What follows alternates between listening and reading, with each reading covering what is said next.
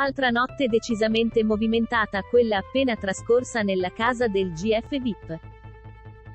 Elenoir Ferruzzi ha dato luogo ad un vero e proprio show, durante il quale sono stati chiamati in causa anche gli autori del programma.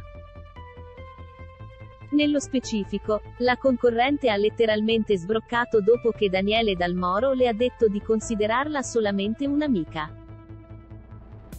Così come fatto qualche settimana fa con Luca Salatino, anche in questa occasione la protagonista ha dato di matto. Elenoir Ferruzzi furiosa con Daniele Dalmoro nella notte è scoppiata una bufera nella casa del GF VIP a causa di Elenoir Ferruzzi. In questi giorni, la concorrente si è molto avvicinata a Daniele Dalmoro. Il ragazzo ha accolto di buon grado la vicinanza della coinquilina, sta di fatto che ha ricambiato le sue attenzioni.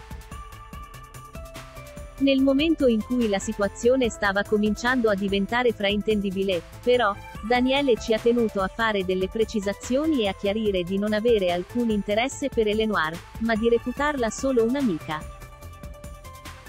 Daniele ha fatto tale confidenza a Jaele, la quale è andata da Elenoir a raccontarle tutto.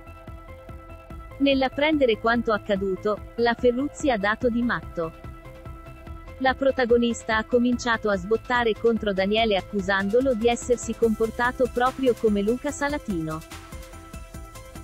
A suo avviso, dunque, anche Daniele avrebbe vergogna ad ammettere di essere attratto da una donna trans. Lo sfogo di Elenoir contro gli autori del GF VIP L'apice, però, si è toccato nel momento in cui Elenoir Ferruzzi ha sbottato contro gli autori del GF VIP. Ad un certo punto, infatti, la concorrente è stata chiamata in confessionale per parlare di quanto accaduto.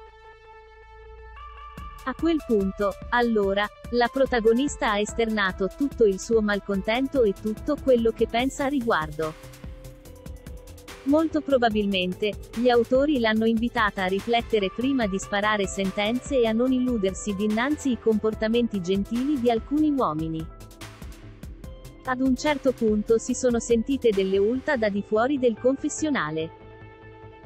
In particolare, la Ferruzzi pare abbia mandato a quel paese gli autori.